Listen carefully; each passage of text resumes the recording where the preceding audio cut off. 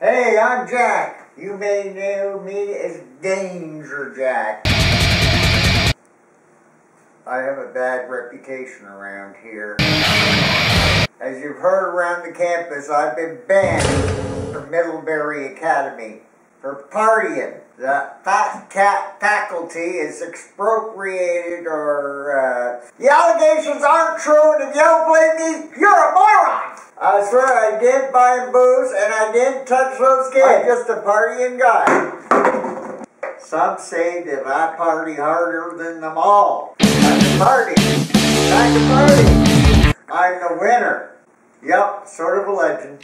All these years partying too hard. It's crazy, man. Just crazy. I got 50 signatures at the bar that says I can come back to the campus. I'm coming back, kids. And you can't stop me. See you, poser.